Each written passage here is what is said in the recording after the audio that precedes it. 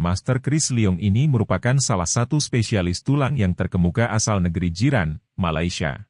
Beliau yang memperkenalkan metode pengobatan titar atau pengaturan tulang yang kemudian dikenal dengan Chris Leong Method atau CLM yang diadopsi dari pengobatan tradisional Tiongkok Cina. Pengobatan yang dilakukan biasanya ditujukan untuk pasien yang menderita patah tulang, tersangkut atau urat terjepit. Banyak juga orang yang melakukan pengobatan karena cedera saat berolahraga, mengangkat beban terlalu berat, dan posisi duduk yang salah selama bertahun-tahun.